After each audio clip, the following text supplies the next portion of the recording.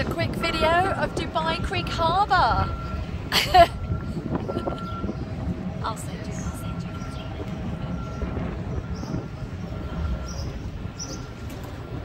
Lots of space for your boat there.